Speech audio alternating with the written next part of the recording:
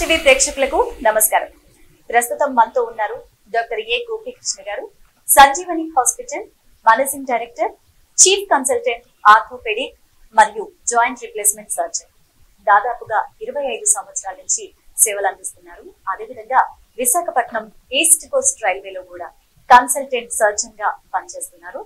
So ప్రస్తుతం ఎవరికైనా పెద్దవారు కానీ చిన్నవారు కానీ పడిపోయినప్పుడు ఫ్రాక్చర్ అవుతుంది సో ఫ్రాక్చర్ అయినప్పుడు హాస్పిటల్కి తీసుకువెళ్ళేలోగా ఎలాంటి జాగ్రత్తలు తీసుకోవాలి? ఎలాంటి ప్రికాషన్స్ తీసుకోవాలి అన్న విషయాలన్నీ మనకు విపులంగా వివరిస్తారు డాక్టర్ గోపికృష్ణ గారు. నమస్కారం సార్ తెలుగు న్యూస్ టీవీ ప్రేక్షకులకు రైట్స్ కేర్ ప్రేక్షకులకు నా అభివందనాలు and my best wishes to నేను డాక్టర్ గోపికృష్ణ అండి. వైజాగ్లోని గత ట్వంటీ ఫైవ్ ఇయర్స్గా ప్రాక్టీస్ చేస్తున్నాను. డాక్టర్ గారు జనరల్గా ఇంట్లో పెద్దవారు ఉంటారు. సో పెద్దవారు పడిపోయినప్పుడు తెలియవు మనకి ఫ్రాక్చర్ అయిందని. కానీ ఫ్రాక్చర్ అయితే ముందస్తుగా డాక్టర్ దగ్గరికి తీసుకెళ్ళేలోపు ఎలాంటి జాగ్రత్తలు తీసుకోవాలి?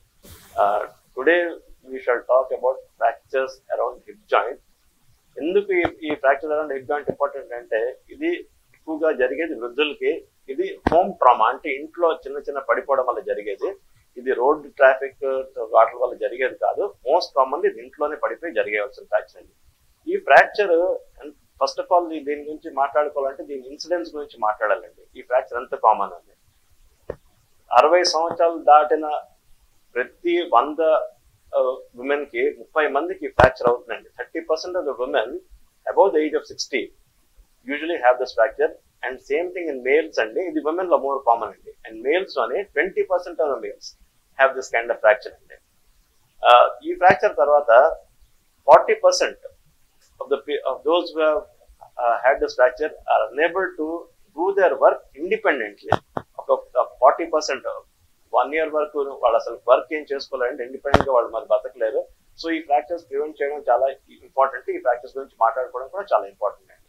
దాని తర్వాత sixty percent of the people those sustain fracture అంటే అరవై మందికి ఎవరికైతే ఫ్రాక్చర్ జరిగిందో ఆ వంద మందికి అరవై మందికి ఎవరికైతే ఫ్రాక్చర్ జరిగిందో యూజువల్గా వీళ్ళు ఈ ఫ్రాక్చర్ వల్ల విత్ ఇన్ వన్ ఇయర్ చనిపోతారండి. అంటే because of comorbid conditions so ఈ ఫ్రాక్చర్ గురించి మనం మాట్లాడుకోవడం చాలా ఇంపార్టెంట్ సో ఈ ఫ్రాక్చర్ గురించి మనం మాట్లాడే ముందు సిన్స్ uh, మనం ఇది we are talking of this fracture for normal people అంటే ఇది మెడికల్ టాక్ లా కాకుండా మన ఇళ్ళలో జరిగే ఫ్రాక్చర్ కాబట్టి మన ఇంట్లోనే మన ఈ ఫ్రాక్చర్ ఎలాగ ప్రివెంట్ చేయొచ్చు? ఫస్ట్ దాని గురించి మాట్లాడదామండి సో మన ఇళ్ళలో ప్రివెంట్ చేసినప్పుడు రెండు రకాల యాక్టివిటీస్ ఉంటాయి మనకి. ఒకటి ఇండోర్ యాక్టివిటీ ఒకటి అవుట్డోర్ యాక్టివిటీ ఇండోర్ యాక్టివిటీలోనే మనం ఫస్ట్ వృద్ధులు కొంతమందికి బ్యాలెన్సింగ్. ఎలాగ ఇంట్లో బ్యాలెన్స్ చేసుకొని ఎలాగ నడవాలి ఎలాగ మనం ఇంట్లో ఉండాలి ఎలాగ లేవాలి ఎలా కూర్చోవాలి ఇవన్నీ చెప్పాలి. సో దీనికోసం వాళ్ళకి ట్రైనింగ్ ఇవ్వాలి వాళ్ళకి ఫిజికల్ థెరపీ ఫిజికల్ థెరపీ అంటే సమ్ స్మాల్ ఎక్సర్సైజెస్ వాళ్ళకి చిన్న ఎక్సర్సైజ్ చెప్పాలనుకోండి వాళ్ళ muscle strength bone strength buildup అయి ఉంటుంది కాబట్టి అది దాని గురించి చెప్పాలి. దాని తర్వాత ఇంట్లోని చెత్త ఉంచకూడదు. క్లటర్ ఫ్రీ క్లటర్ ఫ్రీ అంటే ఇంట్లో ఎక్కడైనా వస్తువులు పారేసి నేల మీద వస్తువులు పారేసి అంటే వాళ్ళకి నడిచేలాగా ఇబ్బంది లేకుండా ఉండాలి. క్లటర్ ఫ్రీగా ఉండాలి. ఇంట్లోని ఎడిక్వేట్ లైటింగ్ ఉండాలి. ఎందుకంటే వీళ్ళంతమందికి విజన్ చాలా తగ్గి ఉంటుంది ఆ ఏజ్లోనే ఆ విజన్ తగ్గి ఉంటుంది కాబట్టి వాళ్ళకి ఎడిక్వేట్ లైటింగ్ ఇవ్వాలి మనం. ఇంట్లోని వాళ్ళు ఎక్కడెక్కడికైతే తిరుగుతారో బాత్రూమ్లో అవనండి వాళ్ళ బెడ్రూమ్లో అవనండి అవ్వండి అవనండి ఎక్కడైతే కిచెన్లో అవనండి ఎక్కడైతే అక్కడ మనకి మంచి లైటింగ్ ఉండాలి. ఇంట్లో లైటింగ్ ఉంటే దేనికి తన్నుకోకుండా ఉంటారు వాళ్ళు? పడిపోకుండా కూడా ఉంటారు. నాలుగవది వాళ్ళకి కావాల్సిన మంచి రకమైన చెప్పులు. ఇప్పుడు చూడండి మన ఇంట్లో చాలా మంది సింథటిక్ చెప్పులు వాడుతూ ఉంటారు సింథటిక్ చెప్పులు ఎప్పుడు వాడకూడదండి. అస్తమానం మనం వాడే చెప్పులు రబ్బర్ సోల్తో ఉండాలి. రబ్బర్ సోల్తో ఉండాలి దానికి అడిక్వేట్గా గ్రిప్ కూడా ఉండాలి ఆ చెప్పులకి. అడిక్వేట్ గ్రిప్ కానీ లేకపోతే ఎక్కడ చిన్న నీరు ఎక్కడ ఉన్నా సరే పని వాళ్ళు మాపింగ్ చేసి వెళ్ళిపోతారు. మాపింగ్ చేసి వెళ్ళిపోతే కింద యాక్చువల్లీ మనకి తడిగా కనిపించదు అది. కానీ చిన్న స్లిప్పరీగా ఉంటుంది. సో దానికోసం ఏంటంటే రబ్బర్ చెప్పులు ఆ చెప్పులకి మంచి గ్రిప్ స్ట్రెంత్ ఉండేలాంటి చెప్పులు మనకు కావాలి. దాని తర్వాత వాళ్ళు రెగ్యులర్గా చెకప్ చేసుకుంటూ ఉండాలండి. విజన్ తాలూకు చెకప్ చేసుకుంటారు. మీకు ఆల్రెడీ ముందు చెప్పాను. విజన్ కానీ అడిక్వేట్గా లేకపోతే దేనికైనా గుద్దుకొని పడిపోవడానికి అవకాశం ఉంటుంది కాబట్టి సో దానికి ఏంటంటే వాళ్ళు రెగ్యులర్గా విజన్ చెకప్ చేసుకోవాలి. ఇది ఇంట్లోకి సంబంధించి వరకు అవుట్డోర్ అంటే మనం బయటకు వెళ్ళిన తర్వాత మనం ఎలా ప్రవర్తించాలి? బయటకు వెళ్ళేటప్పుడు ఎక్కడైనా మనకి ఆబ్స్టాకల్స్ అంటే చిన్న మెట్లు ఎక్కవలసి ఉంటుంది లేకపోతే రోడ్డు చిన్న దాటవలసి ఉంటుంది లేకపోతే చిన్న అప్పులు ఎక్కవలసి ఉంటుంది. ఈ జాగాలోని వాళ్ళ వాళ్ళకి మనం హెల్ప్ చేయాలి. వాళ్ళ దగ్గర ఎవడో ఒకడు ఉండాలి. లేకపోతే వాళ్ళకి కావాల్సిన ఒక టచ్ కానీ ఒక కేన్ కానీ లేకపోతే ఒక కర్ర కానీ ఏదో ఒకటి. అది వాళ్ళకి మనం ఇవ్వాల్సి ఉంటుంది. ఓకేనండి? దాని తర్వాత ఈ స్టెప్స్ ఎక్కేటప్పుడు కూడా కూడా చాలా నెమ్మదిగా చాలా జాగ్రత్త ఎక్కాలి. పెద్ద మెట్లు ఉన్న చోట వాళ్ళకి హండ్రెడ్ పర్సెంట్ వాళ్ళకి ఎలాగ ఎక్కాలి ఎలాగ దిగాలి అది చెప్పాలి. వెదర్ రెండోది వెదర్ చాలా ఇంపార్టెంట్ అంటే మన దేశంలో వెదర్ అంత ఇంపార్టెంట్ కాకపోవచ్చు.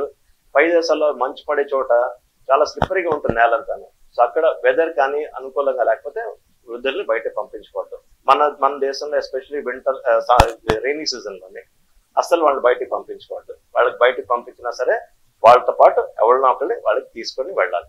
పెద్దవారు ఫుడ్ విషయంలో కానీ లేదా ఎలాంటి ఎక్సర్సైజెస్ చేయాలి లేదంటే ఏదైనా పెయిన్ ఉన్నప్పుడు ఎలాంటి మెడిసిన్స్ వాడుతూ ఉంటారంటారు వృద్ధులకి డెఫినెట్గా ఒక ఎక్సర్సైజ్ రెజ్యూమ్ రోజు పొద్దున్న లేచి ఒక హాఫ్ అన్ అవర్ ఎస్పెషలీ మన తొడలకి సంబంధించిన ఖండాలు కాళ్ళకు సంబంధించిన ఖండాలు వీటికి డెఫినెట్గా వాళ్ళకి ఎక్సర్సైజ్ చెప్పాలి. ఒక half an hour to forty five minutes డెఫినెట్గా వాళ్ళు ఎక్సర్సైజ్ రిజీమ్ అవుట్ పెట్టుకొని డైలీ ఎక్సర్సైజ్ చేసుకోవాలండి. ఒకవేళ డైలీ కాకపోయినా సరే at least four times in week exercise కానీ చేస్తే ఈ కండబలం పెరిగి ఉంటుంది బోన్ స్ట్రెంత్ కూడా పెరిగి ఉంటుంది వాళ్ళకి బ్యాలెన్సింగ్ కూడా వస్తుంది రెగ్యులర్గా ఇది ఎక్సర్సైజ్ వరకు నెక్స్ట్ కమ్స్ డయట్ డయట్ మనకి రిచ్ కాల్షియం అనే డయట్ తీసుకోవాలండి. అంటే కాల్షియం ఎంత ఉండాలంటే at least twelve hundred to fifteen hundred milligrams వరకు కాల్షియం ఉండాలి. ఈ కాల్షియం బాగా ఉన్న డైట్ ఏంటంటే మనకి ఆల్మండ్స్ బీన్స్ దాంతో డైరీ ప్రొడక్ట్స్ డైరీ ప్రొడక్ట్స్ అంటే పాలు పెరుగు వెన్న నెయ్యి చీజ్ ఇవన్నీ తీసుకుంటే చాలా మంచిదండి. నాన్ వెజ్ తినే వాళ్ళకైతే ఎగ్స్ తీసుకోవచ్చు. వెజ్ తినే వాళ్ళకైతే స్పైనాచ్. స్పైనాచ్ అంటే మన పాలకూర ఆకుకూర తోటకూర ఇవన్నీ బాగా తీసుకోవచ్చండి ఇప్పుడు బ్రౌన్ రైస్ బాగా ప్రమోట్ చేస్తున్నారు. పూర్వకాలంలో దంపుడు బియ్యం అని ఇచ్చేవారు. అదే సేమ్ అండి ఇప్పుడు బ్రౌన్ రైస్ అన్నది. సో బ్రౌన్ రైస్ కూడా తీసుకుంటే మీకు అందులో it's very rich of calcium and it's got other vitamins also. So brown rice కూడా తీసుకుంటే చాలా మంచిదండి. దాని తర్వాత ఇవి ఇవి ఒక్కటే కాకుండా అక్కడ మనకి కాల్షియం శరీరంలోకి అబ్జార్బ్ అవ్వాలంటే మనకి potassium rich food. Potassium rich food అంటే మన ఫ్రూట్స్ అన్ని ఫ్రూట్స్లోనే పొటాషియం ఉంటుందండి. సో డైలీ డెఫినెట్గా వన్ ఫ్రూట్ ఏదో ఒకటి. మీకు చ- చౌక రకం అయితే banana. That's the best fruit which one కంటే లేదు యాపిల్స్ దాని తర్వాత ఇంకే ఫ్రూట్స్ తీసుకున్నా తీసుకోవచ్చండి అవి చాలా మంచివి అనమాట దాని తర్వాత విటమిన్ డి మినిమం మనకు కావాల్సిన vitamin D eight hundred to one thousand international units vitamin D కావాలి. దెన్ కమ్స్ మెడిసిన్స్ అండి. మెడిసిన్స్ కోసం మనం డిఫరెంట్ మన డాక్టర్ని కన్సల్ట్ చేయాలి. డాక్టర్ గారికి డాక్టర్ గారికి వెళ్ళినప్పుడు అతను మనకు కావాల్సిన స్కాన్ చేసి పెడతారు. అంటే మనకు బోన్ డెన్సిటీ బోన్ డెన్సిటీ ఎంతో చూసుకొని దాన్ని బట్టి వాళ్ళు మెడిసిన్స్ పెడతారండి. మీరు డెఫినెట్గా మీ దగ్గర ఉన్న డాక్టర్ని కన్సల్ట్ చేసి అతను మీకు ఏం చెప్తారో బోన్ స్కాన్ కానీ బోన్ స్కాన్ చేసిన తర్వాత మీకు ఏ కండిషన్లో ఉన్నది బోన్ అంటే మీ బోన్ నార్మల్గా ఉందా? కాల్షియం లైట్ తక్కువగా ఉందా? లేకపోతే ఆస్టియోపోటిక్గా ఉందా? ఆస్టియోపోటిక్ అంటే very high risk of fracture అనమాట సో అది చెప్తారు. దాన్ని బట్టి వాళ్ళు కాల్షియం కావాలా విటమిన్ డి కావాలా లేకపోతే ఇంకేమైనా దానికి సంబంధించింది ఇంకేమైనా కావాలా? లేకపోతే మన శరీరంలో ఇంకేమైనా ప్రాబ్లం ఉండడం వల్ల మన కాల్షియం బోన్లో తక్కువ ఉన్నది అది చెప్తారు. అది so that's medical topic so దాని గురించి మనం పెద్దగా ఇక్కడ వివరించుకుంటే గోపీకృష్ణ గారు పెద్దవారికి ఫ్రాక్చర్ అవగానే ముందస్తుగా ఏం చేయాలంటారు? అంటే వాళ్ళకి ప్రథమ చికిత్స అనేది ఏ విధంగా చేయాలి అంటారు ఈ ఒకవేళ ఈ ఫ్రాక్చర్ అయింది అనుకోండి ఈ ఫ్రాక్చర్ని మనం ఎలా మేనేజ్ చేయాలి? డాక్టర్ దగ్గరికి వెళ్ళడం అది సెకండ్ది డాక్టర్ గారి దగ్గరికి వెళ్ళకుండా ఉండడం ముందు మనకు ఫ్రాక్చర్ అసలు ఉన్నదా లేదా కనుక్కోవడం. ఒకవేళ పడిపోయారు మన ఇంట్లో ఎవరైనా పడిపోయారు మనకు ఫ్రాక్చర్ ఉన్నదా లేదా కనుక్కోవడం. మనం కనుక్కొని దాన్ని బట్టి మనం డాక్టర్ ఇమీడియట్గా పిలవడం so how to find out whether ఆ హిప్ దగ్గర ఫ్రాక్చర్ అయిందా లేదా? ఓకేనండి సో మనకి హిప్ దగ్గర ఫ్రాక్చర్ అయిందా లేదా అనేది చాలా సింపుల్ టెస్ట్ అండి. మనిషి అలా పడుకోబెట్టి ఏ కాళ్ళు అయితే హిప్ ఫ్రాక్చర్ ఉందో అనుకున్నామో ఆ కాళ్ళు లేపమని చెప్పండి. ఒకవేళ కానీ వాళ్ళు లేపలేకపోతే దట్ డెఫినెట్గా ఆ హిప్ చుట్టూరా ఏదో ఎక్కడొక్కడ ఫ్రాక్చర్ ఉన్నదండి సో మనకి తెలిసిపోయిన వెంటనే ఫ్రాక్చర్ తెలిసిపోయిన వెంటనే ఇంట్లో చాలా ఏం చేస్తారు? అయ్యో పడిపోయారని చెప్పి దానికి వెంటనే ఏదో అమృతాంజనం ఆయింట్మెంట్ ఏదో తీసుకొని దాని మీద పామిడా కట్ట చేస్తారు. అది చాలా రాంగ్ అండి. అసలు చేయకూడదు. అది చేస్తే మన ఫ్రాక్చర్ ఇంకా పెరిగిపోతుంది. ఆ ఫ్రాక్చర్ చుట్టూ వచ్చే రక్తం దాన్ని హెమోటమా అంటారు. అది పెరిగిపోతుంది. ఈ హెమోటమా పెరగడం వల్ల ఇన్ఫెక్షన్కి ఎక్కువ ఛాన్స్ ఉంటుంది. సో మనం చాలా సింపుల్గా ఏం చేయాలంటే ఆ కాలు ఏదైతే తిరిగిపోయినదో సొట్టగనదో ఆ కాలు జస్ట్ లైట్గా లాగేసి ఒకే పొజిషన్లో అంటే మన గ్రేట్ టో అంటే పెద్ద పట్టుకున్న వేలు స్ట్రైట్గా సీలింగ్కి చూసేటట్టుగా ఆ పొజిషన్లో పెట్టి రెండు పిల్లోస్ ఇటు అటు పెడితే సరిపోతుంది. Next shifting to hospital. మనం ఎలాగ వాళ్ళని హాస్పిటల్ షిఫ్ట్ చేయాలి?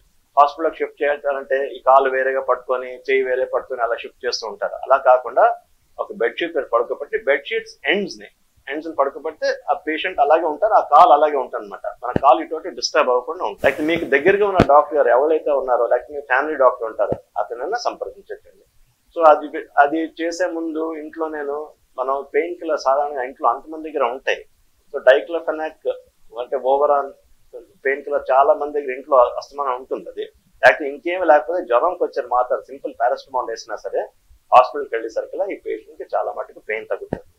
అలాగే ఫ్రాక్చర్ అయిన వాళ్ళని హాస్పిటల్కి తీసుకెళ్ళే ముందు హాస్పిటల్ వాళ్ళని ఎలాంటి క్వశ్చన్స్ అడిగి మనం చూస్ చేసుకోవాలంటారు హాస్పిటల్? అంటే బెస్ట్ హాస్పిటల్ని ఏ విధంగా చూస్ చేసుకోవాలంటారు వాళ్ళని ఎలాంటి క్వశ్చన్స్ అడగాలంటారు సో నెక్స్ట్ ఏంటంటే మనం హాస్పిటల్ షిఫ్ట్ చేసే ముందు కంగారులో షిఫ్ట్ చేయవసరం లేదు మనం.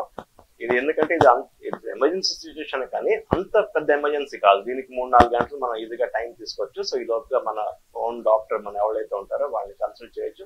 దగ్గరగా ఉన్న నర్సింగ్ హోమ్ కాన్సల్టేషన్ తీసుకెళ్ళచ్చు. ఎక్స్రే ఫెసిలిటీ ఉన్న నర్సింగ్ హోమ్కి తీసుకెళ్ళడం ఉత్తమం. ఎక్స్రే ఫెసిలిటీ లేకపోతే మళ్ళీ వాళ్ళు అక్కడ డాక్టర్ ఏం చేయలేరు. So better to take the patient to ఎక్కడైతే మనకి ఎక్స్రే ఫెసిలిటీ ఉన్నదో ఆ హాస్పిటల్కి తీసుకెళ్ళడం మంచిది.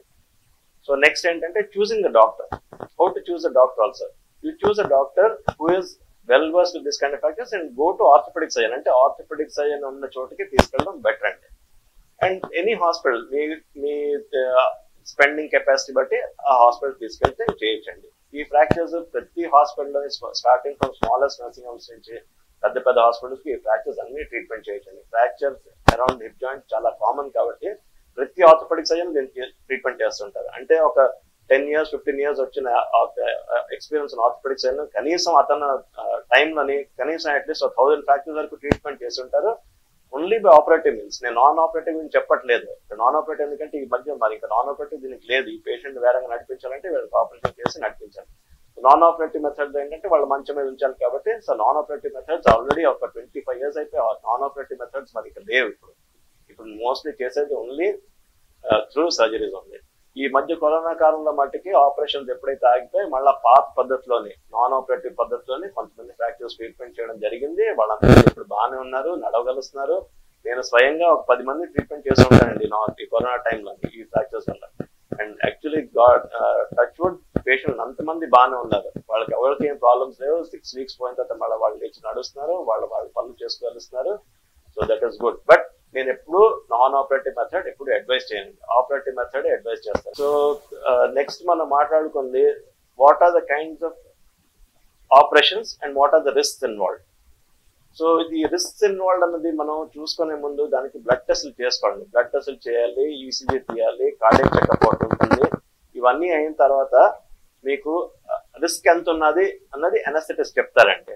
సో మీరు ఇవన్నీ ఇవన్నీ కనుక్కోండి మీరు. డాక్టర్ దగ్గర నుంచి ఎనస్థెటిస్ట్ దగ్గర నుంచి ఆర్థోపెడిక్స్ దగ్గర నుంచి కనుక్కోండి. These are all very important and most importantly నేను ఇప్పుడు అంతమంది చెప్తాను ఫైనాన్షియల్ ఆస్పెక్ట్ గురించి కూడా డెఫినెట్గా మాట్లాడండి. ఫైనాన్షియల్ ఇది ఎంత అవుతుంది? మా ఖర్చు ఎంత అవుతుంది? ఎన్ని ఎన్ని రోజులు ఏమో ఇతన్ని హాస్పిటల్లో ఉంచాలి? ఇవన్నీ కూడా కనుక్కోండి. ఇది చాలా ఇంపార్టెంట్ అండి. మనం ఏదో తీసుకెళ్ళి హాస్పిటల్ అడ్మిట్ చేసి ఏదో ఒకటి ఆపరేషన్ చేసేయండి ఎంత డబ్బులు కనుక్కోకుండా అది మాటకి చేయకండి. ఏ టైప్ ఇంప్లాంట్స్ చేస్తారు? ఇప్పుడు వచ్చే చాలా టైప్స్ ఇంప్లాంట్స్ ఉన్నాయండి. స్టీల్ ఇంప్లాంట్స్ ఉన్నాయి టైటానియం ఇంప్లాంట్స్ ఉన్నాయి. సో మీకు ఆ కాస్ట్ వేరీ అవుతుంది. చాలా మంది నన్ను అడుగుతారు స్టీల్ ఇంప్లాంట్స్ వేయాలా? టైటానియం ఇంప్లాంట్స్ వేయాలా? అని. యూజువల్గా నా అడ్వైస్ ఏంటంటే స్టీల్ వేసుకోండి పర్వాలేదండి పెద్ద ప్రాబ్లమ్ ఉండదు. అండ్ ఇన్ఫాక్ట్ మేము చాలా ఈ టైటానియం రాకముందు స్టీల్ ఇంప్లాంట్స్ అని చేసాం స్టీల్ ఇంప్లాంట్స్కి టైటానియం ఇంప్లాంట్స్కి ఇన్ఫెక్షన్ రేట్స్ ఏమి తేడా లేదండి. Titanium implants are fashion and they are just costly. So it all depends upon you మీరు uh, టైటానియం ఇంప్లాంట్స్ చేసుకుంటారో స్టీల్ ఇంప్లాంట్స్ చేసుకుంటారో అది all depends upon you okay అండి? ఒకే అడ్వాంటేజ్ ఏంటంటే టైటానియం ఇంప్లాంట్స్ కానీ వేస్తే మనం రేపు పొద్దున్న ఫ్యూచర్లో ఎంఆర్ఐ స్కాన్ కానీ ఇంకేమైనా తీయవలసి వస్తే దానికి ఈజీగా తీసుకోవచ్చు. స్టీల్ ఇంప్లాంట్స్ అది అవ్వదు. అది తీసుకోవడానికి అవ్వదు. కానీ ఇప్పుడు వచ్చిన కొత్తగా వచ్చిన ఎంఆర్ఐ మిషన్స్ అది కూడా మెల్లిగా వాళ్ళు ఏమో they developed MRI scan to such level but MRI scans కూడా తీసుకోవచ్చు సిటీ స్కాన్స్ కూడా తీసుకోవచ్చు steel implants this is all about Fractures around hip joint anybody has any queries can always contact me thank you so much okay doctor గారు మా ప్రేక్షకులకి తెలియని ఎన్నో విషయాలు తెలియజేస్తారు thank you thank you very much I, I wish uh, Right uh, Health Home Care Services all the best, and I thank them a lot for giving me this opportunity to speak on fractures around hip joint and elderly people. I hope that this talk is useful to uh, uh, home, uh, uh, Telugu News TV, uh, uh, those who, those who uh, see Telugu News TV. and I wish to give many more such talks uh, which will be of useful to all of them. Thank you so much. Oh my god, oh my god, for more updates, please subscribe Telugu News TV. For more updates, please subscribe Telugu News TV, like and share. For more updates please subscribe to Telugu news TV నేను మీ fun bucket Udayaraj for more updates please subscribe Telugu news TV నేను మీ హరినాథ్